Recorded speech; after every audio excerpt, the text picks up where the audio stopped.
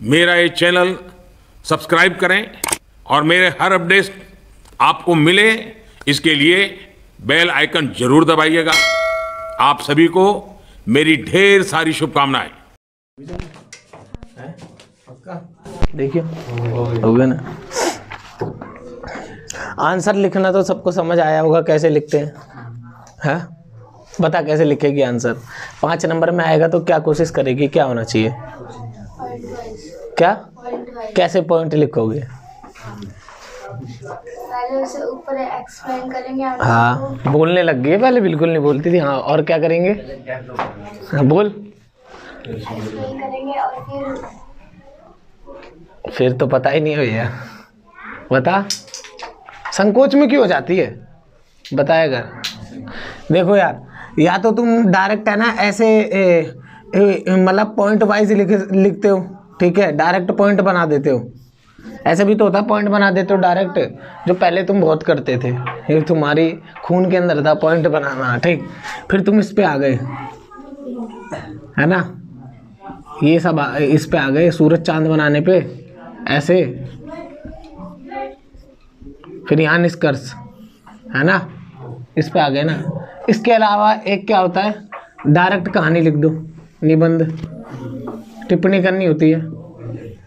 गलत कोई सा नहीं होता। ये उतर गया? कोई बात नहीं ऐसा थोड़ी भूकंप आ गया तबाही आ गई। हाँ इतनी टेंशन ये उतर गया। सुनो इन तीनों में से कोई सा भी ए, किसी भी तरीके से लिख सकते हो। ठीक है लास्ट टाइम है इसलिए बता रहा हूँ। किसी भी तरीके से लिख सकते हो। और मैं ये नहीं बोलूँगा कि इस तरीके से लिखो, तभी नंबर मिलेंगे, क्योंकि मेरे को नहीं पता कि मेरा दोस्त चेक कर रहा है या मेरा दुश्मन चेक कर रहा है। ठीक है? हमें क्या पता यार इतने सारे टीचर में से कौन सा टीचर सही कर रहा है। कोई ऐसा टीचर हो जिसको कोई भी चीज़ पसंद ना हो। वो लिखाई क्यों? मेरे को इससे नफरत है चेक करना पड़ रहा है। काटने वाला तो देखो नंबर कहीं भी काट देगा। लेकिन तुम ऐसे आंसर लिखना जैसा कि तुम चाहते हो कि दूसरा तुम्हारे लिए आंसर लिखे। समझ आ रहा है? समझ आ रहा है, नहीं आ रहा है? अगर तुम टीचर हो तो तुम्हें कैसे आंसर पसंद आएँगे? ठीक है? वो सोचकर आंसर लिखना। और सोचने में ही पूरे एक घंटा मत लगा देना। पेपर खत्म हो जाए, तुम सोच ही रहे हो कि अच्छे सोच के लिखूँगी, बेशक से एक ही आंसर लिखूँगी। ऐसा नहीं करना, ठीक? रियो डी जनवरियो में कब कौन सा सम्मेलन हुआ?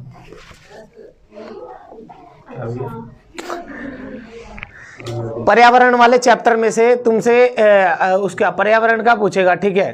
तो दो, तीन बड़े बड़े हुए हैं। जैसे एक तो रियो डी जनवरियो में क्या हुआ है? पृथ्वी सम्मेलन हुआ था ना? उन्नीस सौ बानवे में।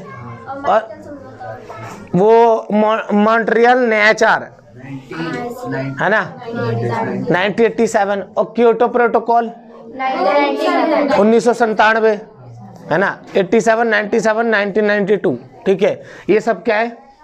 सम्मेलन। है, क्यों करे गए थे? पर्यावरण से संबंधित है, क्योंकि जब 1980 का दशक आ गया था ना समय मतलब 1980 के बाद आसपास में, देशों की चिंता अलग होने लग गई थी।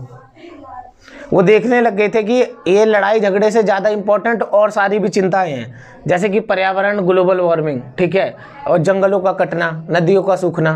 तो लोगों को और मतलब कि लोगों को, क्योंकि लगातार सूखा पड़ने लग गया था, ठीक है? और नई नई बीमारियाँ आने लग गई थी। तो उनको एहसास होने लग गया था कि जितना हम लड़ रहे हैं ना, इससे ज़्यादा इंपॉर्टेंट और भी चीज़ें हैं धरती पे। इसलिए फिर ये नए नए तरह के सम्मेलन करने लग गए। जब कोई सोसाइटी में हार्ट अटैक से मर जाता है, तभी तो लोग सुबह सुबह योगा करने लग जाते हैं। तो कोई कारण तो होना चाहिए ना। तो पीछे जो कारण हो रहे थे, उनको देख के फिर सब लोग इकट्ठे होने लग गए कि चलो भाई मीटिंग करते हैं। मीटिंग तभी होगी ना जब कोई मुद्दा होगा। समझ आ रहा? ठीक। रियो डी जेनेरियो ब्राज़ील में। ब्राज़ील के अंदर क्या पड़ता है? रियो डी जेनेरियो ठीक है? जनेरियो बोलते हैं इसको। उन्नीस सौ बानवे में संयुक्त राष्ट्र संघ का पर्यावरण और विकास के मुद्दों पर केंद्रित पृथ्वी सम्मेलन हुआ, ठीक है? सवाल आ सकता है कि 1980 के दशक में या नवयुग की शुरुआत में, ये जो नया समय है, ये समकालीन विश्व में, समकालीन का मतलब है अभी जो तुम हो ना, तुम्हारे साथ में जो दुनिया चल रही है। मतलब तुम जब एक साल के थे तब भी, और जब अब तुम जब ज़िंदा हो तब भी, तुम मर जाओगे तब समकालीन नहीं होगा, ठीक है?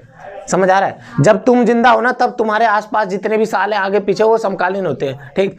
तो समकालीन विश्व में आज के खतरे क्या है? जैसे सुरक्षा की पारंपरिक और अपारंपरिक धारणा होती है ना, उससे भी जोड़ के पूछ सकता है। तो सुरक्षा की पारंपरिक धारणा में तो डेली वाले खतरे, मार झगड़ा, उसकी प्रॉपर्टी छीन लो, उसके कपड़े लेके भाग जाओ, ये सब खतरे, ठीक? और सुरक्षा की अपारंपरिक धारणा में नए खतरे, जो पहले से नहीं थे। अब नए नए खतरे पहले थे, लेकिन हम उसको खतरा ही नहीं मानते थे। ठीक है? पहले तो 16 साल का होना भी खतरा मानते थे। 16 17 का खतरा। हाँ हाँ हाँ। जो 17 साल का हो जाता था, वो खतरे में आ जाता था, ऐसा मानते थे। इसलिए 16 में ही शादी कर देते थे, जल्दी जल्दी। और जिसको ज़्यादा लगता था खतरा, गाँव देहात में जल्दी खतरे आ जाते हैं ना तो बारह ही कर देते थे कि खतरों से जल्दी बच जाए। ठीक, आज देखो 25 के हो जाए उनतीस के हो जाए शादी नहीं हो रही है। ज़बरदस्ती चाहते खतरे में पड़ जाए, खतरा आ ही नहीं रहा है। ठीक तो किसी भी तरीके से सवाल पूछेगा। आंसर आपका यही होगा ठीक है? अगर आपको आंसर समझ नहीं आ रहा पर्यावरण के ऊपर पूछा है ये इतना तो साफ़ समझ आएगा उसके अंदर लिख रखा होगा पर्यावरण को बचाने के उपाय। उपाय मतलब तो जानते हो ना? अगर उपाय पूछे कुछ नहीं तो जितना आपको लग रहा है कि मेरे को क्या करना है पर्यावरण के लिए वो सारी बातें उसमें घुसेड़ दो। और ये तीन सम्मेलन याद रखना। क्योटो प्रोटोकॉल मॉन्ट्रियल न्यायचार और पृथ्वी सम्मेलन। ठीक है पृथ्वी सम्मेलन ग्लोबल वार्मिंग के लिए और ये जो मॉन्ट्रियल न्यायचार ये अंटार्कटिका के लिए। अटला अंटार्कटिका के लिए तो हुआ था ये? हाँ हाँ। उसको लिए हुआ था? तो क्योटो प्रोटोकॉल किस लिए हुआ था फिर? हैं तो ग्रीन हाउस गैस से ही तो छेद होता है ओजोन में। तो फिर मॉन्ट्रियल न्या- अंटार्कटिका के लिए कौन सी संधि हुई थी? अंटार्कटिका उसका अलग नाम है। ठीक है फिर अलग नाम होगा। भाई मेरे को इतना याद नहीं है ना। मैं तो कवर लेके चलता हूँ तुम्हें समझाने के लिए। मेरा पेपर नहीं है जो मैं आगे पीछे लिख दूँगा, मेरे को दिक्कत हो। जाएगी सुनो तो जितने भी तुम्हें पता है ना चीज़ें, वो तुम्हें लिखनी है। किस एवज पे लिखनी है? कि जो नया विश्व है, उनको इन खतरों की चिंता है। इसीलिए वो धीरे धीरे इन मुद्दों को उठा रहा है और इन मुद्दों को उठाने का सबूत क्या है? मोट्रिया न्यायचार हो गया, क्योटो प्रोटोकॉल हो गया, उन्नीस सौ बानवे का पृथ्वी सम्मेलन हो गया। याद नहीं है डेट तो कोई दिक्कत नहीं है। वहाँ पे ज़बरदस्ती डेट मत लिखना। खाली ये लिख देना पृथ्वी सम्मेलन। उदाहरण के लिए पृथ्वी सम्मेलन। जब नया विश्व खतरों को जान रहा है तभी ऐसे सम्मेलन कर रहा है। ठीक है? उसके बाद अपने देश के बारे में लिख देना। नमो गंगा आयोजन मोदी जी का गंगा को साफ़ करने के लिए यमुना को साफ़ करने के लिए आंदोलन पेड़ लगाए जा रहे हैं जंग, जंगल काटे जा रहे हैं ये भी लिख देना। ठीक। नहीं ऐसा मत लिखना उपाय के अंदर जंगल काटे जा रहे हैं। भैया आपका पहले वाला सही था वो अंटार्कटिका ही सही वो तो वही तो यार मैं पढ़ाते पढ़ाते मेरे खून में वो चीज़ें आ गई है ना। तुम यार खुद मेरा कॉन्फिडेंस मत गिराया करो कैमरे के ऊपर। मैं सही हूँ ना? मॉन्टियर नेचर अंटार्कटिका के भी है ना? हाँ भैया तभी तो कह रही हूँ मैं। इतना मैं वही देख रहा हूँ इनके चेहरे पे कॉन्फिडेंस भी नहीं है लेकिन सारे बोल रहे हैं कि मैं गलत हूँ। नहीं चढ़ो यार। मैं ही सही हूँ। खुद खुद को, खुद की मैं शक्तियों को कम आंक रहा था अभी। पता लग गया। सुनो भाई, भू राजनीति की परिभाषा लिखिए। भू का मतलब? भू, वसुंधरा, भूमि, जननी, अंबा। ठीक हाँ हाँ पृथ्वी। ठीक, सबको क्या बोलते हैं? माँ भी बोलते हैं वैसे तो भू को। ठीक है। समझ आ रहा है? ठीक। तो भू राजनीति की परिभाषा लिखिए। भू राजनीति का संबंध किस किसे क्या कब कहाँ और प्रा, अ, कैसे प्राप्त से है? इसके मुख्य तत्व निम्नलिखित है। संसाधनों से जुड़ी भू राजनीति को पश्चिमी दुनिया के अधिकतर व्यापारी व्यापारिक संबंध युद्ध और शक्ति के संदर्भ में सोचा। शीत युद्ध के दौरान विकसित देशों ने संसाधनों की सशक्त आपूर्ति के लिए संसाधनों वाले क्षेत्रों व समुद्री परिवहन मार्गों के इर्द गिर्द सेनाओं की तैनाती और संसाधनों के भंडार, भंडारण जैसे अप, मार्ग अपनाए। देखो समझ तो तुम्हें आया नहीं होगा, लेकिन मैं बता दे रहा हूँ, भू राजनीति का मतलब क्या है? ज़मीन पे ना, अपना ना, राजनीति क्यों करते हैं? राज करने के लिए। तो जो भूमि पे है ना, किसी भी तरीके से कब्जा चाहिए, चाहे अपने देश में, चाहे इंटरनेशनल अधिकतर हम इंटरनेशनली बात करेंगे, अपने देश में क्या कीचड़ उठा ले, उछाले यार। तो भू राजनीति क्यों होती है? हमेशा से देखते आए कोई देश दूसरे देश पर कब्जा कर रहा है क्यों? उसके संसाधनों का दोहन करना है। जैसे बड़े देश छोटे देश पर कब्जा क्यों करते थे? या बराबर वाले देश दूसरे देश पर कब्जा क्यों करना चाहता है? उनके संसाधन चाहिए, ज़मीन चाहिए, कोयला निकाल लेंगे, खनिज निकाल लेंगे, उनकी नदियाँ यूज़ करेंगे। समझ आ रहा है? ठीक। उनके ज़मीन पर कूड़ा फेंक देंगे, अपनी ज़मीन से निकाल के, ऐसे काम कर लेंगे, ठीक। तो यही भू राजनीति होती है। और ये भू राजनीति को इंटरनेशनल लेवल पे बोलते हैं, क्या? भू हटा दो तो जियो पॉलिटिक्स हो जाता है वो, ठीक है? मतलब ग्लोबल पॉलिटिक्स समझ आ रहा है? पूरी दुनिया का जो पॉलिटिक्स होता है, ऐसे ही चलता है, ठीक है? इसीलिए तो वो क्या नाम है पाकिस्तान कश्मीर के पीछे पड़ा हुआ है। भू राजनीति है ना? ज़मीन कश्मीर हवा में थोड़ी है। भू की तो राजनीति है सारी। कभी आसमान की राजनीति सुनी है क्या? वो तो होती है, लेकिन एक्चुअली में वो ज़मीन पे ही होती है। आसमान की राजनीति भी ज़मीन पे ही होती है, और ज़मीन की तो ज़मीन पे ही होती है। ज़मीन के अलावा कुछ नहीं है। चिड़िया भी उड़ के एक बार आके बैठती, पेड़ पे ही है जो ज़मीन पे लगा हुआ है। ज़िंदगी भर थोड़ी चिड़िया उड़ी रहती है कि नहीं भाई, अब बैटरी रिचार्ज नहीं करनी, उड़ते रहूँगी। ऐसी कोई देखा है, ऐसा कोई पंछी देखा है जो हमेशा उड़ता रहे? आते तो सारे? तो औकात मत भूलो समझ आया? गलत क्या सही है, तुम्हें मैं बताऊँ। ठीक? ये दो लाइन का था, पाँच लाइन में भी दे रखा है, देख। वही सवाल है, भू राजनीति की परिभाषा कीजिए, संसाधनों की भू राजनीति पर टिप्पणी कीजिए। ठीक है? ये तुमने पहले कभी आंसर लिखा नहीं है, मेरे को पता है क्योंकि मैंने दिया नहीं है। ठीक है? इसलिए तुम्हारे शकल पे दिख रही है कन्फ्यूज़न दिख रही है मेरे को, ठीक है? तो तुम्हें बस इस आंसर में ना अगर आ गया ना भू राजनीति, या देश भू की राजनीति क्यों करते हैं, या भू राजनीति पे टिप्पणी दीजिए तो तुम्हें बस यही बताना है, भू का मतलब भी यही है, दूसरे देश पर कब्जा करना, वहाँ की ज़मीन पर कब्जा करना, वहाँ के संसाधनों पर कब्जा करना, अपनी पावर दूसरे देशों में बढ़ाना। हम भी तो भू राजनीति करते हैं, नहीं करते। हम चाहते हैं कि श्रीलंका, कंबोडिया, पापा पापा पापा चिल्ला है ना? अमेरिका पूछे, कौन कौन कौन? श्रीलंका बोले, डॉन डॉन डॉन. समझ आया? तो होना चाहिए ना ऐसा? कहाँ से आया कौन? बोले, Bharat don Bharat don Bharat don. हम चाहते हैं ना, हर कोई चाहता है कि उसको चिल्लाए उन्हें डॉन डॉन डॉन. ठीक। तो यही क्या है? संसाधनों की भू राजनीति भू का मतलब समझा? क्या? धरती माँ। समझ आया? जिसने अपनी ज़मीन बेच दी उसने अपनी माँ बेच दी ठीक है? पहले बोला जाता था ये डायलॉग ठाकुर जो ज़मीन लेने आते थे वो बंदे लड़ते थे तो बोलते ठाकुर ये ज़मीन मेरी माँ है। बोलता है चल तू तू भी आ जा और माँ को भी लिया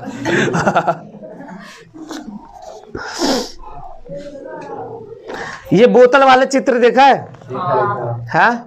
देखो चित्र सारे तो मैं करवा नहीं सकता लेकिन जो भी रैंडम दिख रहे हैं वो पूछा। हूँ ये बोतल वाले चित्र तुम भी देख लो। ठीक।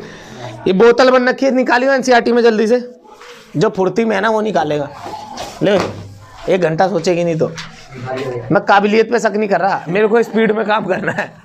सुनो एच टू ओ बन रखा है इसके ऊपर। एच टू ओ क्या होता है?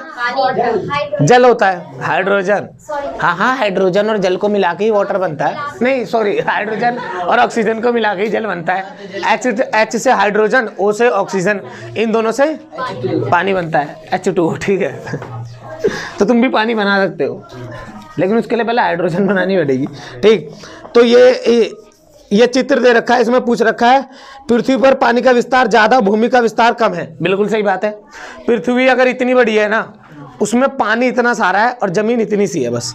समझ आ रहा है? ज़मीन बहुत कम है, पृथ्वी की हकीकत है। लेकिन सारा पानी समंदर में है खारा है, हम पी नहीं सकते। वो पी लेंगे तो हमें बीमारी हो जाएगी, मर जाएँगे। ठीक है? हाँ हाँ नहीं तो जैक पी नहीं लेता पानी। ठीक। यह कार्टून किस तरह पानी की कमी को चित्रित करता है? यह कार्टून पानी की बोतल के अंदर की सतह से चित्रित करता है। बोतल में पानी की मात्रा कम दिखाई गई है। बिल्कुल सही, देखो। बोतल इतनी बड़ी? ठीक। बोतल इतनी बड़ी? उसके ऊपर पे ज़मीन देखो बना रखी है थोड़ी सी, लेकिन बोतल बहुत बड़ी है। बोतल से दिखा रहा है सारा पानी, लेकिन पानी की कमी को कैसे दिखा रहा है कि बोतल के अंदर पानी थोड़ा सा है पीने के लिए? ध्यान से देखोगे तो देखोगे, बोतल में थोड़ा सा पानी है है ना? ये पानी दिखा रहा है कि पीने वाला पानी कम है। और जो पीने वाला पानी है ना, कुछ दो से ढाई परसेंट, दो पॉइंट तिरासी परसेंटेज है, सौ परसेंट जितना पानी है, उसमें से दो पॉइंट तिरासी, मान ले पृथ्वी है ना, पृथ्वी पे अस्सी परसेंट तो पानी है और बीस परसेंट लगभग अस्सी परसेंट पानी है। लगभग बोल रहा हूँ मेरे को एक्यूरेट डाटा नहीं पता, ठीक है? और 20 परसेंट जल है, और उस 20 परसेंट को 100 परसेंट मान लो मतलब पानी, ज़मीन को हटा दो, नहीं, पानी पानी को मान लो 80 परसेंट जो पानी है ना, उसको पूरा 100 परसेंट मान लो कि अब पानी पानी की बात कर तो उस 80 पानी में से ना, केवल ये सोच लो, एक या दो पानी क्या है, पीने योग्य। और उस एक या दो पानी में से भी है ना बहुत सारा पानी जमा हुआ है। और जो बचा पानी है वो है नदियों और उसमें तालाबों में। बाकी सारा जमा हुआ है ग्लेशियरों में। समझ आ रहा है? और जो अ, ए, उतना 80 में से 78 पर है पानी वो खा रहा है उसको पी नहीं सकते हम समझ आ रहा है? तो पानी की कमी कितनी है? और तुम? होली खेलोगे अभी? दे मार पीटी होली। दो दो ड्रम पानी ऐसे गिरोगे जैसे अभी क्या बोलते हैं? इंद्र देवता तुम ही हो। मिनट में बारिश कर दोगे। कहीं अकाल होगा कहीं यहाँ तो दिल्ली में तो बहुत पानी वेस्ट करते हैं लोग यार। कोई बात नहीं क्या ही कर सकते हम किसको रोक थोड़ी सकते भाई? हम केवल किलसा सकते हैं। वैश्वीकरण के विरोध में चलाए गए आंदोलनों का वर्णन कीजिए। कोई आंदोलन पता है? वैश्वीकरण क्या होता है? वैश्वीकरण मतलब कि एक देश की हाँ हैं, एक देश की सीमा का दूसरे देश में अच्छा। आर्थिक सामाजिक सांस्कृतिक। सीमा का सुनील से बात कर लेना। एक देश की सीमा का दूसरे देश के सुनील से बात कर लेना नहीं तो दूसरे देश की पिंकी से बात कर लेना। है भाई पिंकी? पिंकी वो है ना? ठीक है। सुनो वैश्वीकरण क्या है? ये अलग अलग देश है ठीक है? ए बी सी डी देश है। वो खाद जाल देखा है? आपस में सारे जुड़ते इसने इसको कुछ बेचा, इसने इसको कुछ बेचा, फिर इसने इसको कुछ बेच दिया, फिर इसने इसको कुछ बेच दिया, फिर इसने इसको कुछ बेच दिया और इसने इसको कुछ बेच दिया। एक तरीके से देखोगे चित्र सीधे ही बन सकता है। लेकिन जाल जाल तो वही होता है ना जो समझना है। मछली का जाल देखा है? उसकी नोट्स खोल लोगे जल्दी से? मतलब गांठे खोल लोगे ऐसे अंट संट बना होता है। मतलब मस, मकड़ी का ओरिजिनल जाल बोल रहा हूँ मैं। मछली मारने वाला नहीं बोल रहा। वो तो हम ही लोग बनाते हैं। मकड़ी का जाल देखा ना, ऐसे ऐसे होता है स्पाइडर वाला, है ना? तो यही जाल होता है। ठीक, इसी को वैश्वीकरण कहते हैं। जब है ना, देश आपस आपस में जुड़ जाते हैं और किसी एक चीज़ के लिए नहीं जुड़ते। ठीक है? कई चीज़ों के लिए जुड़ते हैं। अब वैश्वीकरण का जब क्वेश्चन आएगा तो क्वेश्चन पूछ सकता है, वैश्वीकरण पर टिप्पणी कीजिए। एक सुंदर सा, सभ्य सा, छोटा सा आंसर लेकिन मेरे को लगता नहीं, वो तुम्हें इतने से छोड़ देंगे। तो वो ये पूछेंगे वैश्वीकरण के नकारात्मक प्रभाव बताइए। अगर तुमसे थोड़ा कठिन पूछना चाहते होंगे तो वैश्वीकरण से जितनी भी दिक्कतें आ रही हैं तुम्हें सांस्कृतिक की, ठीक है? राजनीति की राजनीति की, संस्कृति की दिक्कत कैसे? ये कोई दिक्कत है? संस्कृति खान पान बढ़ रहा है। परिवर्तन कोई दिक्कत होती है? तू भी तो परिवर्तन है, दिक्कत है। जब पहन क्या कुर्ता? अपनी जो मूल संस्कृति है ना हाँ। उसको पीछे छोड़ते जा रहे हैं दिक्कत क्या है संस्कृति प्रभाव में कि कुछ छोटी मोटी जो संस्कृति है ना कुछ जो छोटी संख्या में लोग हैं वैश्वीकरण का दबाव इतना हैवी होता है ना कि उनकी संस्कृतियाँ ही नष्ट हो जा रही है। और जो चीज़ नष्ट हो गई उसको वापस नहीं लाया जा सकता भाई। डायनासोर को पैदा कर दोगे क्या कोई? कहाँ से बनाओगे? नहीं बन सकता वो तो मूवी में दिख रहा है कि हाँ भी एक मच्छर मिलने वाला है, ग्लेशियर में उससे हम डीएनए निकालेंगे और डायनासोर बना लेंगे, फिर जू खोलेंगे, फिर लोग जाएँगे उसमें खो जाएँगे, फिर डायनासोर बाहर कूदेंगे आगे। मतलब कल्पना बहुत अच्छी है, काश वो मच्छर मिल जाए। एक ऐसा जानवर भी तो होना चाहिए, जिससे जो गोली से भी ना मरे जल्दी। ठीक कि ना मज़ा आएगा ना वो दौड़ रहा होगा डायनासोर इधर। सीधे स्कूल पे पाओ स्कूल खत्म, बच्चे खुश। बहुत बढ़िया, लो, मेरे दोस्त को खा लो। हाँ। तो वैश्वीकरण के नकारात्मक प्रभाव में, सांस्कृतिक प्रभाव, कोई से भी, कोई सा भी सवाल आएगा, उसके अंदर ट्रिक तो यही है कि सांस्कृतिक, आर्थिक और राजनीतिक। ठीक है, संस्कृति, वो सामाजिक एक अलग से होता है। राजनीति वाले में घुसेड़ सकते हो उसको उसको संस्कृति में घुसेड़ सकते हो सामाजिक को। ठीक है? तो सामाजिक में मतलब संस्कृति में संस्कृति संस्कृति का हास्र होता है। ठीक है? कुछ कुछ क्या होता है, संस्कृतियाँ बिल्कुल ही खत्म हो जाती है। जो छोटी जनसंख्या होती है, लोग छोटे लोग होते हैं, उनकी संस्कृति को नष्ट कर दिया जाता है, ठीक है? परिवर्तन अलग चीज़ है, परिवर्तन किस चीज़ को अच्छा भी बनाता है, ठीक है? परिवर्तन ही तो हुआ कि अंग्रेज़ आए तो सती प्रथा बहन हुई। हैं? ये भी फूक रहे होते। चल, जल जा। सोचो कैसा लगता है यार, ज़बरदस्ती लड़कियों को जला रहे हैं।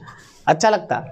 तो कितने बेहूदी चीज़ है। वो मना कर रही है, नहीं जलूँगी मैं, मेरे को पति से प्यार नहीं है। ज़बरदस्ती जल तू। तेरे को प्यार है? बताओ यार।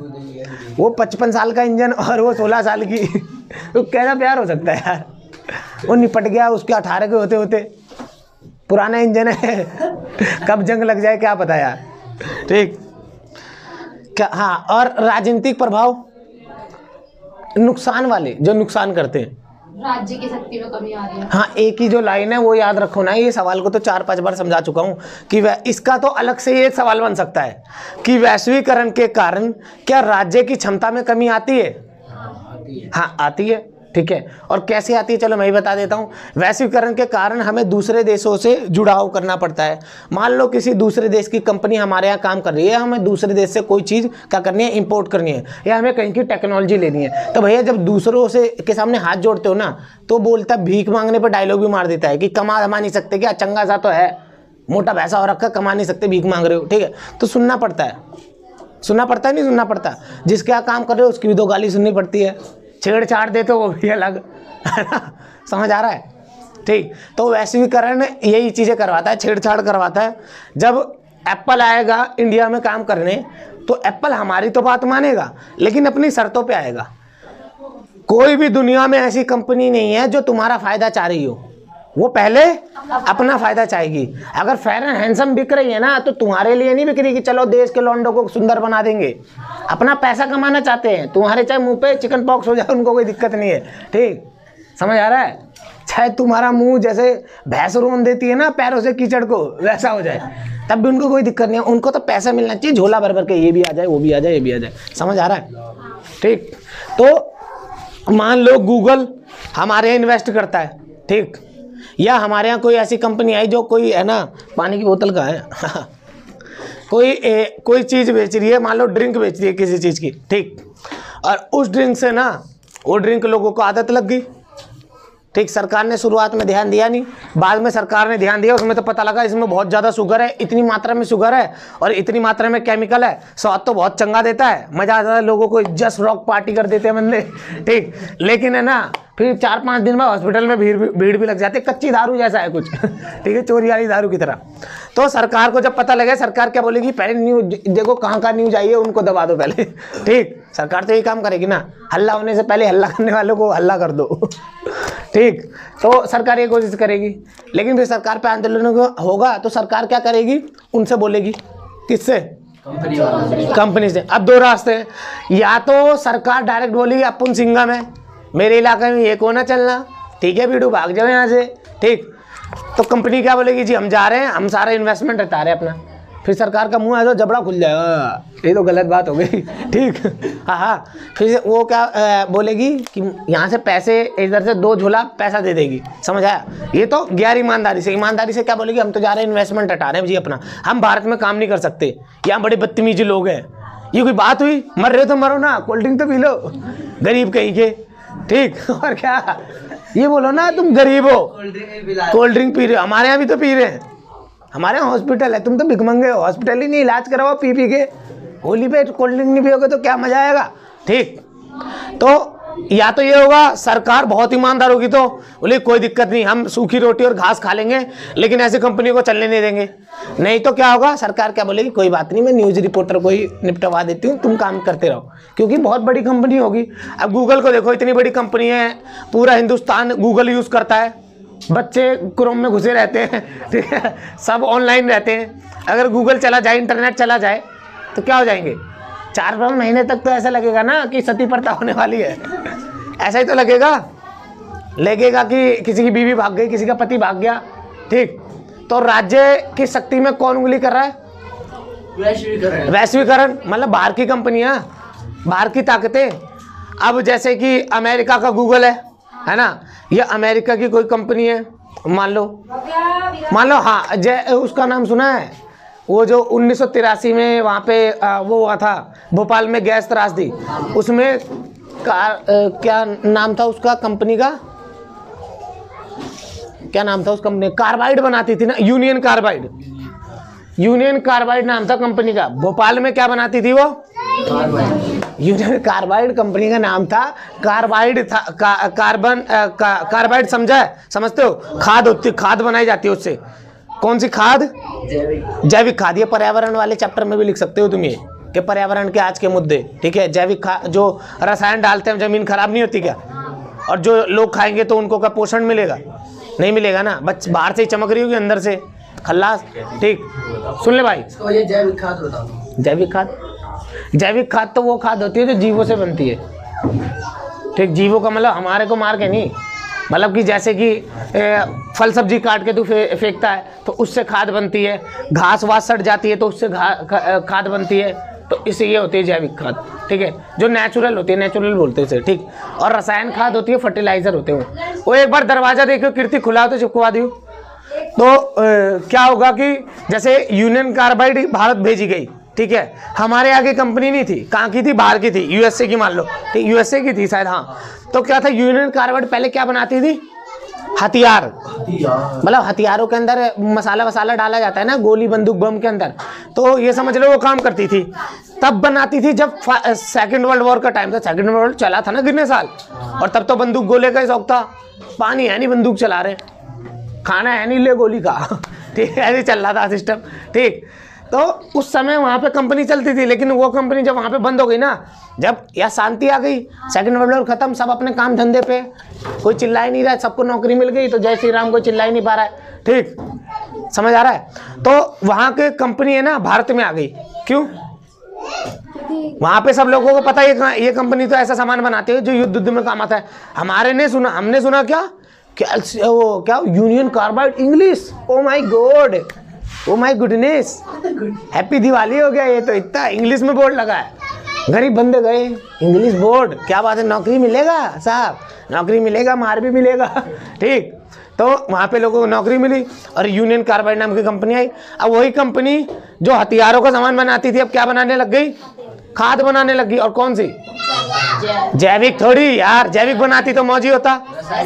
बम गोले से जैविक खाद बनती। है, जैविक खाद बन सकती है। जब हम बम गोले से मर जाए तो हमारे ऊपर पेड़ उगेंगे। जैविक खाद ही होगी। ठीक। रसायन खाद बनाने लग गई। केमिकल, समझ आया? और वो काम कर रही हमारे भारत में, जबकि हमारे सरकारों को पता नहीं होगा क्या? और उसकी कई बार कंप्लेन आई। कई बार कंप्लेन आई कि इस कंपनी में जो गैस है ना मतलब जिन चीज़ों से काम हो रहा है, वो चीज़ें ऐसी हैं, वो गैस ऐसी है। अगर कोई आदमी ना, कोई नॉर्मल बंदा अगर सूंघ लेना उस गैस को तो दो से तीन मिनट के अंदर उसका काम तमाम है। अगर नॉर्मल सूंघ ले, और जिसको बीपी की और उसकी क्या बोलते हैं, सांस की प्रॉब्लम है, या जो हाफता है, वो सुन ले तो सूंघ ले तो पाँच से दस सेकंड के अंदर निपट जाएगा। क्योंकि उस गैस में क्या जहर होता है? समझ आ रहा है? इतनी खतरनाक जहर गैस थी। और देखो राज्य की शक्ति। 1983 में होता है, भोपाल गैस त्रासदी भोपाल में ही होती है वो कंपनी यूनियन कार्बाइड ठीक है? उन, वो आई है सेकेंड वर्ल्ड वॉर के बाद इंडिया में आई है। 1983 तक काम कर रही है। कई कंप्लेन है उस पर कई सारी वो धाराएँ, वो लगी हुई है केस चल रहे हैं। वो कंपनी बच जाती है बार बार बची जाती है, जिसके हाथ में पैसा वो तो बचता ही है। ठीक है नॉर्मल सी बात है समझाने की ज़रूरत है। क्योंकि समझा नहीं पाऊँगा, ये बड़ा कॉम्प्लिकेटेड होता है ना। क्योंकि लिखा तो सब कुछ अच्छा होता है बुक में, लेकिन हो सब कुछ उल्टा रहा है दुनिया में, है ना? तो वो कंपनी सरकार की बात नहीं माननी। और मानेगी भी नहीं, क्योंकि यार बाहर की कंपनी है, वो क्यों माने? हमारी बात। उसको केवल क्या चाहिए यहाँ से? लाभ, मुनाफा। वो पैसा कमा के धड़ाधड़ बेच रही है। और यहाँ तक ये भी आरोप लगे थे उस पर। आरोप क्या सिद्ध भी हो गए थे बाद में कि कंपनी अपनी चीज़ों की रिपेयरिंग भी नहीं करवा रही थी। क्योंकि अंग्रेज़ तो काम करते नहीं थे। एक अंग्रेज़ था, बस पूरी कंपनी में एक अंग्रेज़ था। जो उनका वो नहीं होता डायरेक्टर होता है मेन होता है हेड होता है डायरेक्टर जो मेन कंपनी को संभालता। है और मालिक भी बाहर बैठा था। मालिक भी नहीं था। केवल एक आदमी को भेज रखा था कि अपने भरोसे का आदमी भेज रखा अंग्रेज़ों ने। वो काम का, बैठा रहता था वहाँ कंपनी में ठीक। वो भी रोज नहीं वो कभी कभी आता था इंडिया में ही रहता था घूमता फिरता रहता था ठीक। बाकी सारे हिंदुस्तानी काम करते थे। उन्होंने ये भी नहीं सोचा कि उस कंपनी की मशीनों की रिपेयरिंग करवा दे टैंक की रिपेयरिंग करवा दे गैसेस को टैंक में रखा जाता है। गुब्बारे में भर के नहीं रख सकते। ये तो हर बच्चा रोज फटेंगे फिर गुब्बारे ठीक। तो वो क्या हुआ फिर उन्नीस सौ तिरासी में उसी टंकी में से गैस लीक हो गई और कई सारे लोग मर गए वहाँ पे। कम से कम कुछ नहीं तो चौदह हज़ार के लगभग लोग मरे थे। एक रात के अंदर, एक रात के अंदर, भोपाल जंक्शन है ना रेलवे स्टेशन, उस पर रेलें आने रोक दी थी, क्योंकि जो रेल वहाँ से जा रही थी वहाँ पे बंदे मर जा रहे थे। पाँच दस सेकंड तो रेल को निकलने में लगता ही है, आगे रुकती है, उतने में लोग निपट जा रहे थे। पूरा का पूरा भोपाल जंक्शन है ना, खत्म हो गया था। लेकिन उस कंपनी का कुछ नहीं उखाड़ पाए हम। कंपनी का जो वो डायरेक्टर था, वो भाग गया। कंपनी में हर जाना लगा, कंपनी बंद हो गई, बस काम खत्म। जो लोग मरे, आज भी बच्चे वहाँ पे अपाइज पैदा होते हैं। एक भोपाल में जाओगे ना तो वहाँ पे कॉटेज बना रखे हैं। वो मतलब जैसे सोसाइटी नहीं होती, सोसाइटी, वहाँ पे लिख रखा है, सोसाइटी पे भोपाल गैस त्रासदी के लोग। ठीक है? उसका, उस सोसाइटी में जाओगे ना, बच्चे देखोगे तो बच्चे लूले लंगड़े, किसी की आँख सही नहीं है, किसी का हाथ सही नहीं है। आप आई जो की सोसाइटी दिखेगी तुम्हें। और वहाँ पे साफ़ लिखा है कि भोपाल गैस की त्रासदी के जो लोग हैं ना, वो यहाँ रहते हैं। जाके देखोगे तो तुम्हें पता लगेगा लोगों के साथ हुआ क्या था। लेकिन इन चीज़ों पे कोई बात नहीं करता। और अभी तब तो एक का एक आधी कंपनी थी अब देखो, पचहत्तर कंपनी। ये जितनी भी कंपनी तुम्हें लंबा कर रही है ना, गोरा कर रही है, ये कोई भारत की कंपनी नहीं है। ये सब बाहर की कंपनी है। तुम खुद सोचो ना, उनके यहाँ बंदे गोरे हैं। तो वो ऐसी चीज़ बनाएँगे क्यों जो जो यूज़ की ना हो। सोच के देखो। उनके यहाँ बंदे खुद सफ़ेद है यार। तुम्हें लग रहा है लंदन में वो फेरन लवली कोई यूज़ की बनी होगी? या फेरन हैंडसम वो चीज़ें वो अपने यूज़ के लिए बनाते तो मानता मैं अपने अपने पीने के लिए चाय बनाऊँगा तो कभी भी मैं उसको जहर जैसा नहीं बनाऊँगा, है ना? जब मेरे को अपने आप पिलानी नहीं है चाय, कभी तुम्हें लग रहा है लंदन में फेरन लवली बिच रही होगी? नहीं बिच रही होगी ना? ना फेरन हैंडसम बिचती होगी, ना वहाँ पुट्टी बिचती होगी। नहीं बिचती ना? यहाँ बिच रही है। तो यहाँ पे सारी कंपनी ऐसे चल रही है राज्य उनका कुछ उखाड़ पा रहा है। जब ज़्यादा कंप्लेन होती है कोर्ट वोर्ट में जाता है, हर जाना भर देते हैं बस। पर राज्य बोलता रहता है, नहीं भाई, तमीज से काम करो। कर रहे हैं, तमीज से काम, ले दस लाख रुपए, बस हो जाता है काम। बोलते हैं हाँ इतनी तमीज तो काफ़ी है, और थोड़ी तमीज दिखा देते तो सही रहता। अगले महीने तमीज दिखाएँगे हम। ठीक। तो राज्य कुछ उखाड़ पाया? नहीं। देखो, चौदह हज़ार के लगभग लोग मरे। अरे भैया, तुम उसकी फुटेज देखोगे ना यूट्यूब पे जाके फुटेज देखना। ओए, घंटी मत बजाओ। जब फुटेज देखोगे ना यूट्यूब पे वीडियो वगैरह है तो देखोगे हेलीकॉप्टर उड़ रहा है, उस पर से शूटिंग करी गई है। जैसे युद्ध में नहीं होता, बंदे कब्रे कब्रे कबर बना रखी है काफ़ी सारी। बुलडोजर से लाशें डाली जा रही थी। चौदह हज़ार का मतलब समझते हो? पूरे के पूरे मतलब जो जितने भी खाली प्लॉट थे ना, उनमें भी लाशें दफना दी थी। जगह ही नहीं मिली थी दफनाने की। एक साथ चौदह बंदे आ जाएँगे, कैसे दफनाओगे? मज़ाक चल रहा है। सोचो, इतने सारे लोग। और क्या उखाड़ लिया उनका? कुछ नहीं उखाड़ पाए, हम कुछ भी नहीं। वो तो चले गए, मौज मार रहे जो भी कमाया था उन्होंने तीस साल में, मौज मार रहे और हम आज भी ऐसी कंपनियों से चीज़ें खरीद रहे हैं। अभी भी जितनी कंपनियाँ बेच रही हैं, सामान सारी ऐसी हैं यार, कोई भी हमारा भला नहीं चाहते। अभी भी सौ दवाइयाँ अगर मैं गिनवाऊँ ना, सौ में से केवल बीस दवाइयाँ हमारे यूज़ की होंगी। अस्सी दवाइयाँ केवल है ना, हमें डॉक्टर इसीलिए लिख रहा है क्योंकि कंपनियाँ बेच रही हैं। समझ आ रहा है? नहीं तो हम केवल है ना एलोवेरा का जूस पी के भी सही हो सकते हैं नॉर्मल चीज़ों में तो। जिन चीज़ों के लिए हमें पचहत्तर दवाइयाँ लिख देते हैं। ये कैल्शियम की तुम्हें दस दवाई लिख देते हैं, फलाने की दस दवाई लिख देते हैं टिकाने की। देखते हो जब तुम बीमार होते हो, डॉक्टर दस तरीके पत्ते लिख देता है। क्यों लिख देता है? एक तो उसकी मेडिकल स्टोर होती है, बगल वाली। यही चलता है अधिकतर में यही चलता है। और कुछ डॉक्टर को कुछ पता नहीं होता तो वो दवाइयाँ लिखते रहते हैं। उनको टे, उनको टेंशन ही लेने नहीं क्योंकि इंसान भी तो यही नहीं चाहता मेरा इलाज अच्छा हो। सब क्या चाहते हैं डॉक्टर ऐसी दवाई देते ना बस ये दर्द खत्म हो जाए। यही तो बोलते हैं हम जाके हमें वो वाली दवाई चाहिए जिससे एक मिनट में दर्द खत्म हो जाए बेशक से अगले महीने वापस चालू हो जाए। अधिकतर जिनको भी पथरी का दर्द होता है ना उनको यही प्रॉब्लम है। वो पथरी का पूरा इलाज नहीं करवाते। वो गोली और इंजेक्शन ठुकवाते हैं और उससे चार पाँच महीने तक रुकता है उसके बाद फिर चालू हो जाता है। देख लेना आसपास में जिसको भी पथरी का दर्द होता है। कभी ना कभी अचानक से उठ जाता है, फिर लेके बैठते। ऐसे करते। बहुत तेज दर्द होता है पथरी का। समझ आ रहा है राज्य की पावर में कैसे कमी आ रही है? समझ आ रहा है? ठीक। तो तू अच्छा ज़्यादा बता दिए इतना नहीं लिखना होता लेकिन। इतना मत लिखना। नहीं, सर जी तुम्हें ना बुला लेंगे। बोले, बेटा, आपकी ज़रूरत इधर नहीं है। दिल्ली विश्वविद्यालय में आपको लेक्चरार बनाया जाता है। चलिए। आप यहाँ क्यों बैठे हैं? आप तो लेक्चरार हैं। आप हमें ट्रेंड करिएगा आगे के लिए। हमें समझ नहीं आता क्या क्या बच्चों को बताना है। ठीक। सुनो। ये तो पता है ना भाग्य वधु से चित प्रतिष्ठित भेंट। है? कोई ऐसा जिसको नहीं पता? अरे, शर्म नहीं करनी, उठा दो। नहीं पता? भाग्य वधु से चित भाग्य जानता है? भाग्य वधु कुमकुम भाग्य। सुनो भाग्य वधु का मतलब यही है कि जो आने वाली जो नियति है ना वो दुल्हन के रूप में बोल उसको क्या कर रहे हैं। पहले तो हर चीज़ को दुल्हन ही बोलते थे। बाइक को मेरी दुल्हन आ गई। बंदे बोलते नहीं थे। और क्या अधिकतर क्या? क्या आ गई? कुछ अलग चीज़ बोली है। बिक्की को बोल ली है ना? समझ गया मैं क्या बोल रही है? नहीं। ऐसा ही बोला। उसने यही बोला यही बोला। मेरे को मत चला। ठीक है? अरे भैया यही बोला ही सब। अच्छा ठीक है। सुनो। तो नहीं ये तो यूज़ ही करते हैं। अभी तुम खुद सोच लो अधिकतर चीज़ों का नाम ऐसे यूज़ करते हैं। लेडीज़ वाला नाम रखते हैं उन चीज़ों का। क्योंकि हम उसको सॉफ्ट और प्यारा दिखाना चाहते हैं। है नहीं हकीकत है। मेटाफर भी तो इसलिए यूज़ होता है। अलंकार में कभी मर्द पे अलंकार देखा है? मर्द का चाँद जैसा मुकड़ा कभी सुना है तुमने? है? नहीं सुना ना? तो बोलने वाले में से। मर्द यूज़ करते हैं मेटाफर समझ आ रहा है? नहीं हकीकत में जो चीज़ें बनी है वो बनी है। ऐसी एक जो मर्दों के लिए बनी है वो भी बनी है। जैसे पहले बोला जाता था अ, अ, मर्दानगी है ना? खूब लड़ी मर्दानी वो तो झांसी वाली रानी थी। झांसी वाली रानी के लिए भी मर्दानगी यूज़ कर रखी है। उसका मतलब ये नहीं है कि हम झांसी वाली रानी को मर्द कह रहे हैं। हम उस एक पावर की तरह दिखा रहे हैं, क्योंकि पहले लड़ाई झगड़े मर्द करते थे, अब तो औरतें भी केस लगा रही है, वो अलग बात है। ठीक।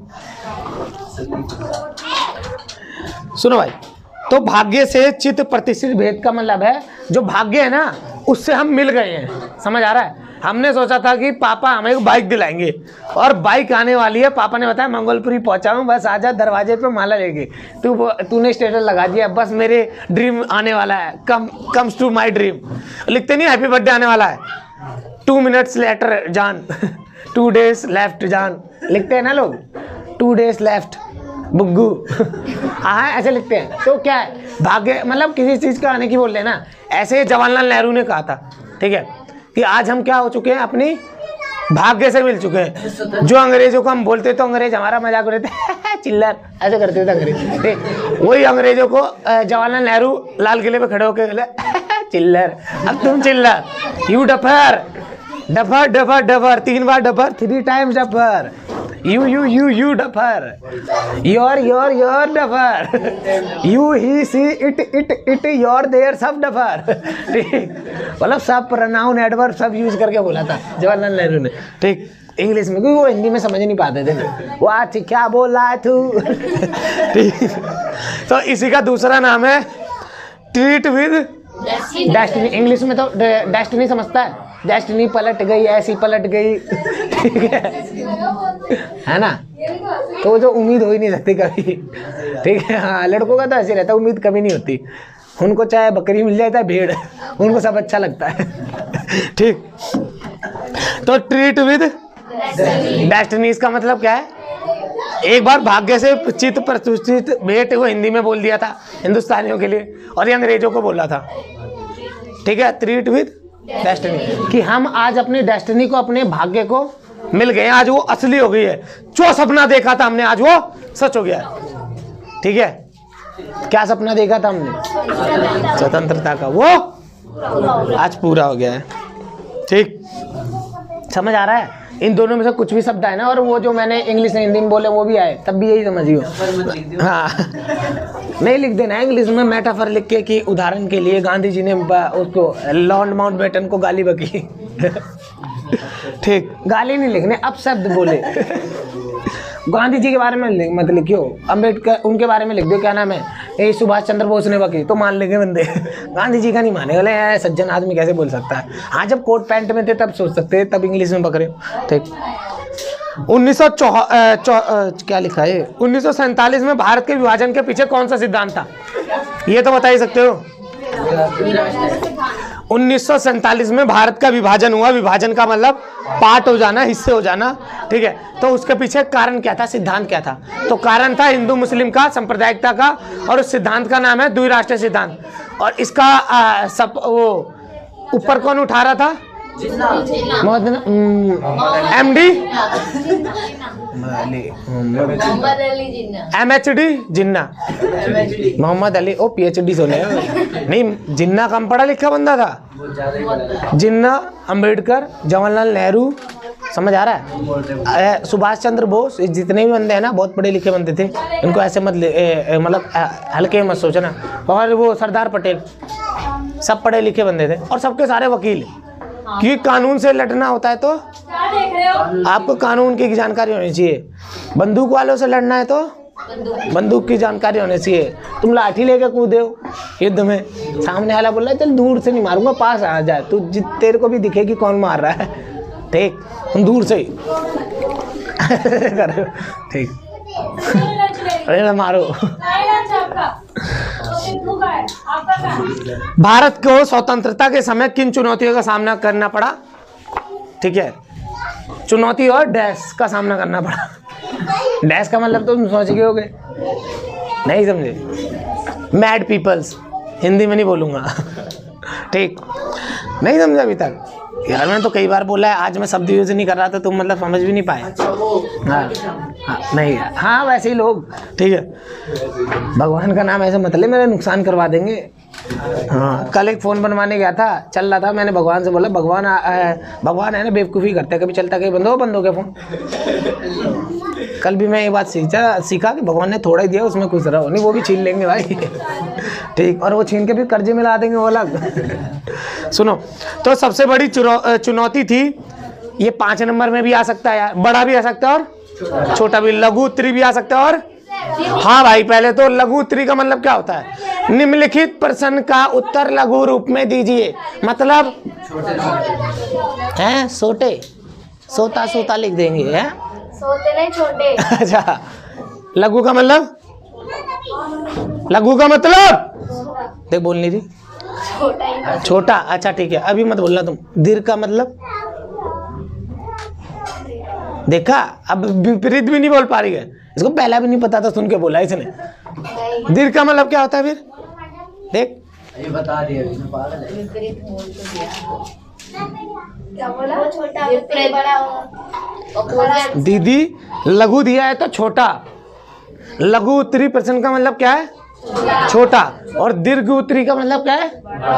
ऐसा लिखा हो लघु उत्तरी प्रश्न लिखे कोई सोचा लघु का मतलब तो खून सुना था लघु से लिखूँगा अपने इश्क की ए, ए, ओ दासता ओ लघु से लिखना मैडम ब्लेड क्लिप भी चलेगी।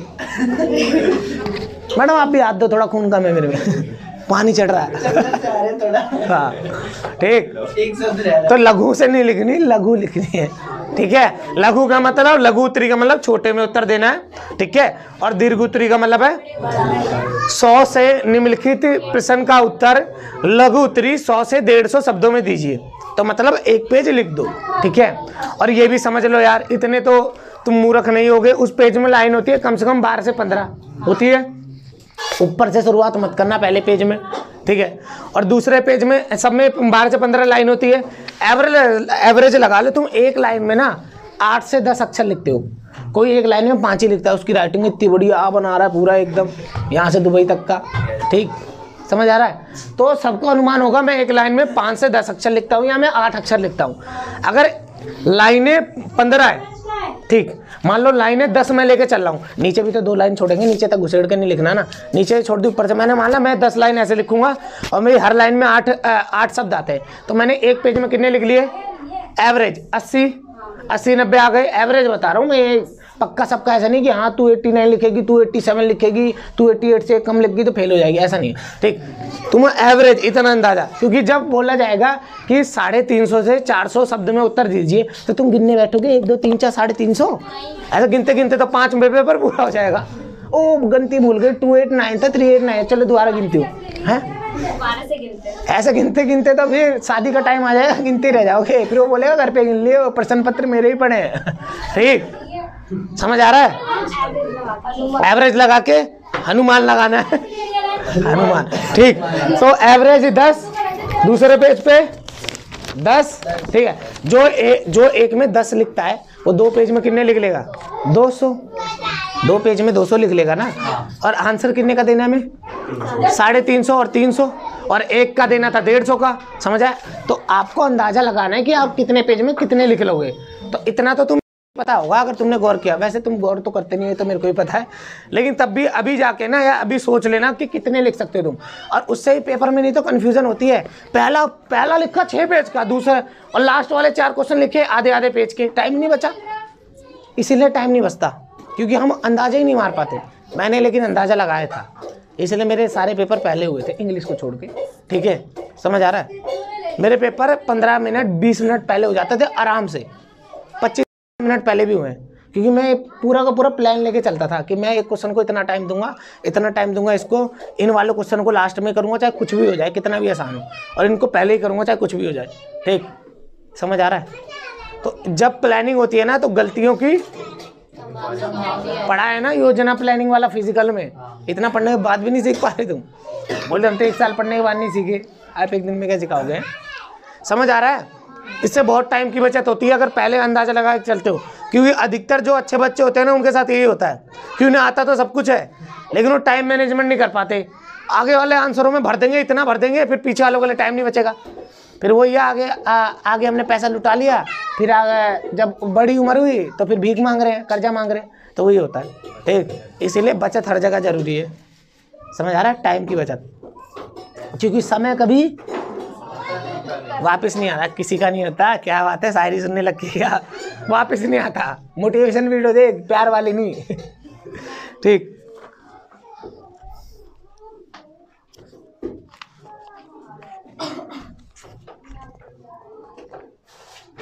श्यामा प्रसाद मुखर्जी कौन सी पार्टी से थे?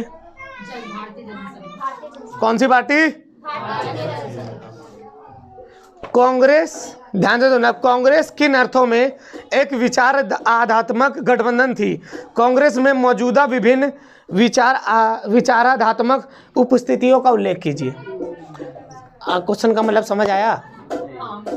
किसके बारे में क्वेश्चन पूछा है? अगर कुछ समझ नहीं आया तो बस कांग्रेस के बारे में लिख दो। समझ आ गया? तब भी पाँच में से तीन नंबर तो ले लोगे। सुंदर राइटिंग होगी तो तीन ले लोगे नई राइटिंग होगी तो गलत आंसर होगा, तब भी कुछ लिखा है तो तुम ढाई ले लोगे। समझ आया? ऐसा तो नहीं छोड़ के कुछ भी ना मिले।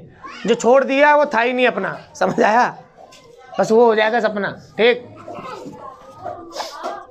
तो कांग्रेस किन अर्थों में एक विचार, विचाराधात्मक गठबंधन थी इस प्रश्न का मतलब है, इस क्वेश्चन का मतलब है कि कांग्रेस थी ना जो जो किन अर्थों में? क्या मतलब था कि उसको बोलते हैं लोग ये विचारों का गठबंधन थे? अब समझ आ गया होगा शायद, है? वो विचारों का क्या थी? उसमें मेरे अकेले के विचार नहीं थे। इस जाति के, उस जाति के, फलाना जाति के, उस उस तरह के लव मैरिज वाले के, भागने वालों के, खाटू श्याम वालों के सबके विचार थे कांग्रेस में। समझ आ रहा है? समझ आ रहा है? क्या समझ आया आप बताओ? हाँ ये नहीं लिखना, खाटू श्याम वालों के विचार थे। ये तो मैं एग्ज़ाम्पल में बता रहा हूँ, ठीक? ये एग्ज़ाम्पल के लिए बोल रहा हूँ कि जो पापा की मर्ज़ी शादी करेंगे, वो भी कांग्रेस में है। जो मम्मी की मर्ज़ी से करेंगे, वो भी। जो अपनी मर्ज़ी से भी नहीं करेंगे, वो भी हैं। जिनको किडनैप कर लिया जाएगा, वो भी हैं। जो किडनैप करेंगे, वो भी हैं। जो रंगदारी पैसा मांगेंगे किडनैप करके वो भी हैं। मतलब हर तरीके के बंदे कांग्रेस में थे। इसका मतलब है नरम पंथी नरमपंथी वाम वामपंथी ठीक है? चौमिन पंथी, मोमोज पंथी, सारे पंथी क्या थे? कांग्रेस में थे। तो शुरुआत में कांग्रेस की प्रणाली पे क्वेश्चन क्वेश्चन आता है कि कांग्रेस की प्रणाली बताओ। तो कांग्रेस की प्रणाली यही थी, क्योंकि कांग्रेस किसी एक विचारधारा नहीं, विचारा, विचारधाराओं का गठबंधन थी, ठीक है? तो किसी एक विचारधारा को लेकर नहीं चलती थी। इसीलिए कांग्रेस का विरोध दूसरी पार्टियाँ नहीं कर पाती थी। क्यों? क्योंकि उसका विरोध उसके अंदर से ही होता था। अपने ही लोग, अपने लोगों का विरोध करते थे। ये बहुत अच्छी चीज़ होती है किसी भी लोकतंत्र के लिए। देश का लोकतंत्र हो या पार्टी का लोकतंत्र हो। जब बड़े वाले से सवाल करने की शक्ति होगी ना, तभी तुम लोकतंत्र में माने जाओगे। नहीं तो फिर बड़े वाले से जब सवाल ही नहीं कर पा रहे तो फ़ायदा ही क्या? है ना? जैसे किसी पार्टी में केवल एक या दो ही चेहरे हैं, या कोई मेन चेहरा ही है, उसी वही सब कुछ करता है। तो इसका मतलब है ना, दूसरे वालों को काम दिया नहीं जा रहा है, या उनके पास उतनी पावर नहीं है। ठीक है, एक ही बंदे का नाम क्यों आ रहा है? समझ आ रहा है? बोलो क्यों? क्यों होता है ऐसा। हाँ क्योंकि उस पार्टी में किसी पार्टी में केवल एक ही आदमी दिखाया जा रहा है या एक ही तरह के विचार दिखाए जा रहे हैं तो क्या मतलब है? कि वो एक ही विचारधारा वाली पार्टी है या किसी चीज़ में क्या है सिमटी हुई है? लेकिन कोई पार्टी अगर कई विचार रखती है, कई सारी अलग अलग कार्य करती है और कई उसमें लोग कई कार्य करते हैं अलग अलग तरह के लोग करते हैं तो इससे पता लगेगा ना, इसकी एक विचारधारा नहीं है, कोई एक एक आदमी इसका ड्राइवर नहीं है इस गाड़ी का, समझ आ रहा है? ये कांग्रेस के लिए कहा जाता था, कि कांग्रेस क्या है? अलग अलग विचारधाराओं का एक गठबंधन है, इसके अंदर क्रांतिकारी भी है, नव युवा भी है, ठीक है, गर्मपंथी भी है, वामपंथी भी है, ठीक है, आदिवासी भी है, शहरी भी हैं, ठीक है समझ आ रहा है? फ्रीडम फाइटर है। समझ आ रहा है? तो ये है। आंसर अब पढ़ के नहीं बताऊँगा, मैंने समझा दिया। लिखना तुम्हारी ज़िम्मेदारी है। भारत में समाजवादी दल का गठन कब हुआ? इसके संस्थापक कौन थे? सवाल आ सकता है। एक बार है ना, पार्टियों का भी पढ़ के चले जाना, जिसको मन हो पढ़ने का। क्योंकि निन्या सौ में से सौ लाने वाले को सब पता होना चाहिए। और ये नहीं सब पता होता है। वो सब पता करने की कोशिश करता है, सब तो किसी को पता नहीं होता। वो तुक्के से सारे क्वेश्चन उसको आते हुए होते सौ में से सौ आ जाते समझ आ रहा है? बताओ ना। स... सही बोल रही है हाँ। क्या बात है। लिस्ट में आ रही है। साबित कर दिया कि अभी ज़िंदा हूँ मैं। संस्थापना किसने करी थी? समाजवादी दल की।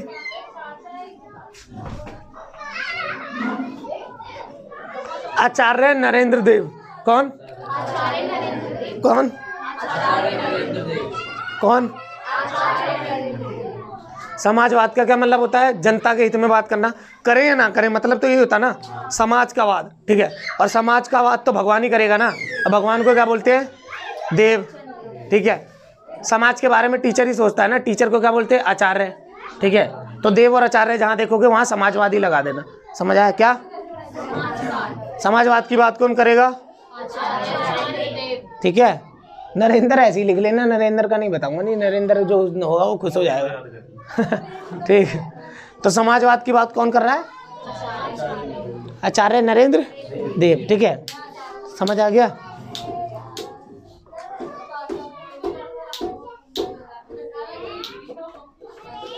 कांग्रेस और जनसंघ की विचारधारा में मुख्य अंतर स्पष्ट कीजिए। कांग्रेस एक सामाजिक और विचारात्मक गठबंधन है। इसमें शांतिवादी रेडिकलिस्ट गर्मपंथी, नरमपंथी। अब तुमसे कोई ये नहीं पूछने वाला रेडिकलिस्ट कौन होता है? क्योंकि तुम पॉलिटिकल साइंस थ्योरी के स्टूडेंट नहीं हो। ये उसमें पढ़ाई जाती है, जब तुम एम ए करोगे। ठीक है?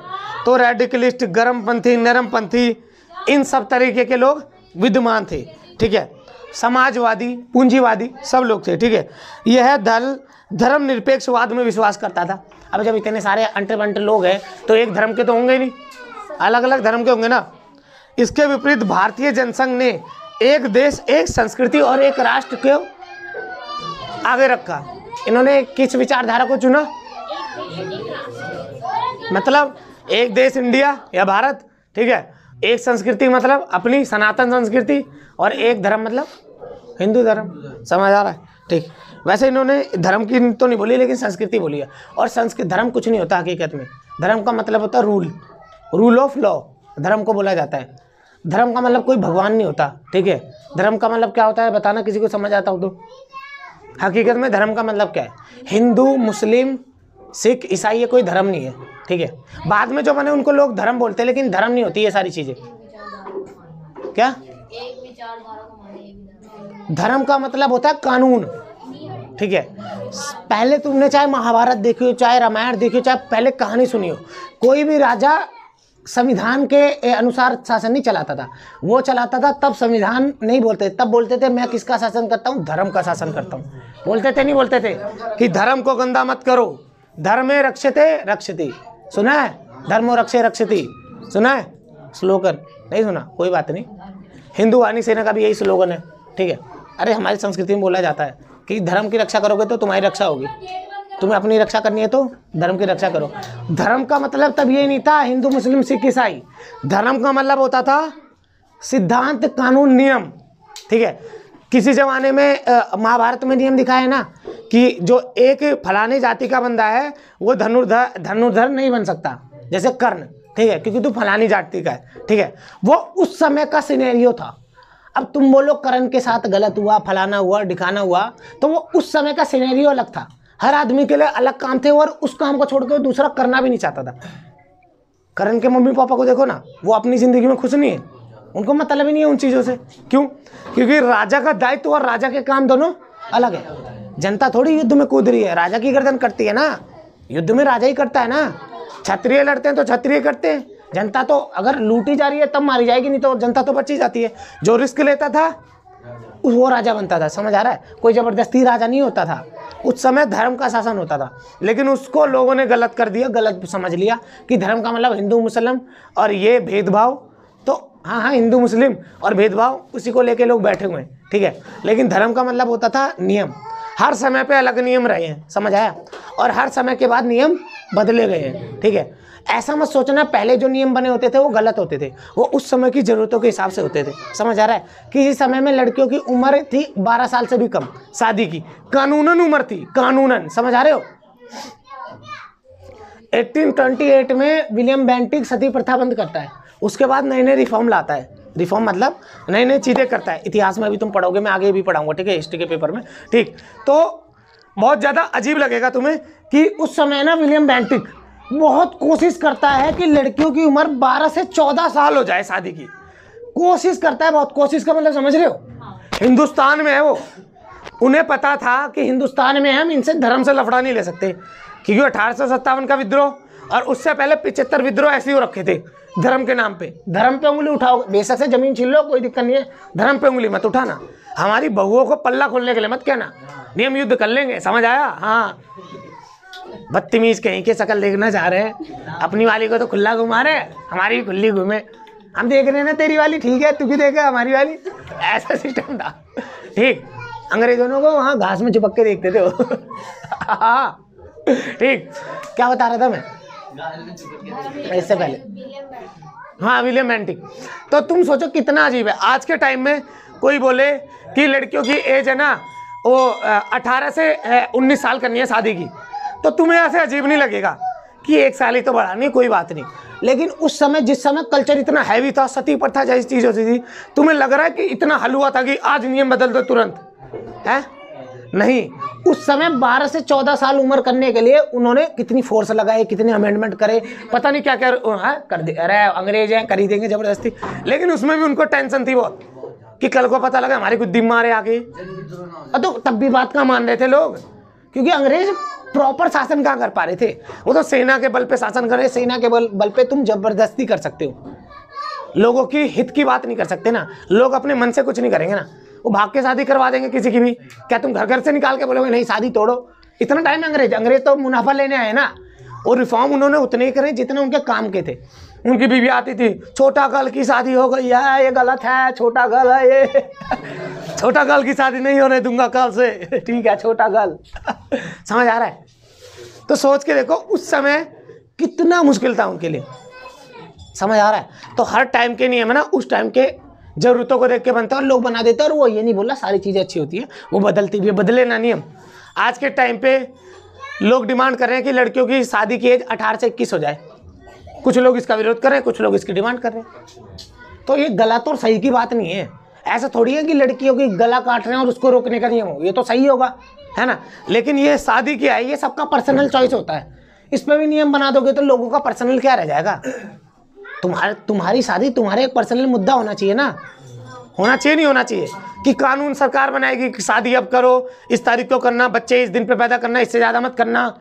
और इतनी साँसें लोगे इतना घूट पानी पियोगे तो तुम्हारा पर्सनल क्या है? शादी तुम्हारा पर्सनल होना चाहिए, नहीं होना चाहिए? तो तुम्हारे अंदर थोड़ी बुद्धि है कि नहीं है? तो तुम इतना सोच सकते हो कि शादी तुम्हारा पर्सनल मैटर है सरकार का मैटर है? डर के मत बोलो या ये मत बोलो कि हम पढ़े लिखे नहीं लगेंगे। खुद बुद्धि यूज़ करो। होना चाहिए, नहीं होना चाहिए? लेकिन किसी से ज़बरदस्ती शादी करवा दो, किसी की ये पर्सनल मैटर नहीं होना चाहिए। लड़की की शादी 18 साल से पहले ना हो। ये पर्सनल मैटर ना हो। समझ आए? कि किसी के माँ बाप ज़बरदस्ती पकड़ के 12 साल की लड़की की शादी करवा रहे हैं। तो ये तो यही तो चीज़ समझनी है। हमें ना किसी भी चीज़ को नियमों के तहत तोप देते हैं और फिर आधी जनता उसको पसंद नहीं करती। क्यों? कुछ लड़कियाँ चाहेंगी मेरी शादी हो जाए और कुछ चाहेंगी नहीं मेरे को कुछ करना आगे या मेरे को अभी नहीं करनी। लेकिन कुछ करने वालों की सुन के क्या करेंगे? सबका एक जैसा नियम बना देंगे और उस पर सजा देने लग जाएँगे तो ये गलत होगा। ठीक है? क्यों? जी जो चाह रही है मेरे को कुछ बनना है और जो चाह रही है मेरे को कुछ नहीं बनना दोनों दोनों में कोई ए, कोई गलत नहीं है। समझ आ रहा है? सबकी पर्सनल लाइफ होती है। जब वो किसी दूसरे को इफ़ेक्ट कर रहा है ना मेरी मर्ज़ी है मैं किसी मैं आज शादी करना चाह रहा हूँ। मैंने देश का कुछ बिगाड़ा? नहीं बिगाड़ा। तुम भी बच्चे पैदा करोगे मैं भी कर रहा हूँ मैं जल्दी कर रहा हूँ बस। नॉर्मल सी बात है अभी भी तो लोग कर रहे हैं ना। दिक्कत तब होगी जब ये नियम बना दिया जाएगा ठीक है? और मैं ज़बरदस्ती में शादी करवाएँगे तब दिक्कत है ना। समझ आ रहा है क्या बोलना चाह रहा हूँ? अगर किसी लड़की की शादी 12 साल में ज़बरदस्ती करवा रहे तो उसको रोकने के लिए नियम बनेगा तो वो अच्छा है। लेकिन अब तुम नियम कंपलसरी बना दोगे, ठीक है? कि क्या? सबको नहीं करनी। तो आदि तो परेशान है, फिर वो काटू श्याम जाएँगी। आज़ादी होनी चाहिए ना। और क्योंकि लड़कियों पे तो तब भी अधिकार है कंप्लेन कर देंगे, वैसे घर वाले फंस जाएँगे। तो इसको नियम बनाना थोड़ा बेवकूफ़ी लगता है। जैसे कि लड़की बोल देगी कि मेरे को देखा है तो लड़के को पकड़ के जेल में डाल देंगे। क्या बेहुदापन है? लड़की अगर बोल रही है तो उसकी बात सुनो। ये थोड़ी की बोल दिया तो जेल में डाल दो। ये तो एक तरीके से नियम, फालतू मिस यूज़ नहीं है ना। अरे कौन है यार? बाहर देख लो यार एक बार। ऐसे लोग यार। समझ आया? नियम कानून समझ गया यार तुम। राज्य के नीति निर्देशक तत्व कौन से आर्टिकल में? राज्य के नीति निर्देशक तत्व जिसमें बोला अ, कौन सा आर्टिकल में? जिसमें शांति वगैरह की बात करी गई है। उस दिन तुक्का मारा था तूने। हाँ सही भी गया था। ई से चालू होता है। हाँ। गिनती नहीं होती। इकसठ इकतालीस ऐसे करके। उस दिन बताया तो था। इक्यावन में, सुनो। वैसे तो छत्तीस से लेकर इक्यावन तक है, ठीक है? नहीं, पैंतीस से इक्यावन है छत्तीस से इक्यावन है। हाँ छत्तीस, बारह से अरे यार, क्या होता है, गुरु से गुरुगिरी। सही बात। अच्छी बात है भाई हमें खुशी होती है। भारतीय संविधान के अनुच्छेद इक्यावन में अंतर्राष्ट्रीय सुरक्षा को बढ़ावा देने के लिए राज्य के नीति निर्देशक तत्व में कहा गया है। मतलब राज्य के नीति निर्देशक तत्व में क्या बताया गया है? कि जो रा, राज्य के नीति निर्देशक तत्व होते क्या है? डीपीएसपी राज्य के निर्देश हैं संविधान के द्वारा कि राज्य फलाना फलाना काम करेगा और राज्य के अंदर राज्य की पावर भी आती है आप भी लोग राज्य में ही आते हो ठीक है? राज्य का मतलब केवल राज्य की पावर नहीं है। काम करने के लिए तो सबको गिना जाता है। पावर के लिए केवल सरकार को गिना जाता है ठीक है? तो काम करना है राज्य अंतर्राष्ट्रीय विश्व में शांति फैलाएगा। ये है मोदी जी का काम और मीडिया का। और अपना भी काम है। कभी तुम मोदी जी वहाँ जाके, हमारे देश के प्रधानमंत्री रोज जाके क्या कर रहे हैं? ब्रिटेन को बोल रहे कि हम दोनों दोस्त हैं, कोई नहीं, जो पुरानी दुश्मनी है, उसको छोड़ते हैं, ठीक है? और तुम रोज वीडियो बना रहे हो, अंग्रेज़, भारत छोड़ो विलियम बेंटिक की माँ की आग तेरी ऐसी की तैसी है? तो अंग्रेज़ वहाँ आ रहे हैं, क्या बोलते हैं? ताजमहल, तुम उनको पकड़ के बंद कर दे रहे हो तुमने हमें करा था, हम तुम्हें बंद करेंगे बाँध के मार रहे हो उनको। तो ये गलत है ना, तुम दुश्मनी बढ़ा रहे हो तो अंतर्राष्ट्रीय शांति बढ़ाना तुम्हारा भी काम है। तो आर्टिकल इक्यावन में लिखा हुआ है कि अंतर्राष्ट्रीय लेवल की जो क्या है, शांति व्यवस्था, वो बढ़ाना राज्य का दायित्व है। ये किसमें लिखा है? राज्य के नीति निर्देशक तत्व। नीति निर्देशक मतलब क्या होता है? नीति बनाते वक्त इसको ध्यान रखना कि कोई भी नीति बनाओगे तो ऐसी बनानी चाहिए जिसमें राज्य को वो क्या होगा? अंतर्राष्ट्रीय विश्व की शांति होगी, सुरक्षा होगी। समझ आया? ठीक? नहीं, तुम्हारी कोई ऐसी नीति बन जाए? जैसे नीति अभी मैंने बताया था उसके लिए मालदीप के लिए। सुनी थी ना मालदीप वाली नहीं थी? मालदीप का तुम टूरिज़्म खत्म कर रहे हो? मालदीप उसके चक्कर में चाइना से मिल गया। एक छोटी सी गलती की वजह से आ, उसमें क्या बोलते हैं हिंद महासागर के बॉर्डर तक चाइना पहुँच रहा है। छोटी सी गलती से। अगर वो फ़ोटो वायरल नहीं होती और मालदीव को खड़ी खोटी नहीं सुनाते तो आज मालदीप हमारे साथ होता। निन्नू सा देश है वो छोटा सा। बिंदी की तरह है कभी भी हमें ना अपने यूज़ के अनुसार उतार के लगा सकते थे। लेकिन हमने उसको दिखाया तो किसी काम का नहीं है। आ, किसी के ईमान पे हाथ रखोगे तो वो बंदा थोड़ी समझ आ रहा है। किसी के जीने का रास्ता छीन लोगे तो रुकेगा थोड़ी। मैं तुम्हें लठ मारूं तो तुम सहलोगे ठीक है? या तुम्हारा शोषण हो तो सहलोगे। लेकिन तुम्हारा गला दबाने लग जाऊँगा जान लेने लग जाऊँगा तो तुम बचने की कोशिश करोगे ना। समझ आ रहा है? क्योंकि अंत और मालदीव की जान उनकी अर्थव्यवस्था पे अर्थ अर्थ- अर्थव्यवस्था किस पे टिकी थी? टूरिज़्म पे वहाँ पे लोग घूमने आते हैं हनीमून मनाने आते हैं फ़ोटो शूट कराने आते हैं सब। यही मालदीप में चलता है गाना। जब मालदीप में ये गाना चल रहा तो कैसा लगेगा। अगर ए, ये लड़की बोल रही है अगर ये लड़का बोले तो कितना गंदा फील होगा। सोच के देखो। क्योंकि हम समझ नहीं पाते कि लड़कियाँ गाना गा रही है तो गंदा नहीं हो सकता। लेकिन अब लड़का बोले छाती के आगे लग जा। तो कितना गंदा ए छी। और डिस्कस्टिंग और सोच के देखो क्या मतलब है इसका? गंद गई गई कुछ भी गाना बना देते हैं। पूरे के पूरे कल्चर की ऐसी की तैसी कर रखी है। और ये हरियाणवी बंदे और वो ये जो जाट कम्युनिटी है ठीक है? और थोड़े ए, तुम्हारे यहाँ पे भी ऐसी स्लैंग लैंग्वेज चलती है है ना? ये बंदे सोचते हैं बहुत गर्व फील करते हैं सब करके। औरतों को भी नहीं पता लगता वो भी नाचते हैं इन गानों पर लेकिन हकीकत ये कल्चर की ऐसी की तैसी कर रहे हैं। लगता है कि हम बड़ा मज़ा कर रहे हैं। हकीकत में भाषा वो शब्द यही है। सुन रहे हो? यही है। चलो भाई अब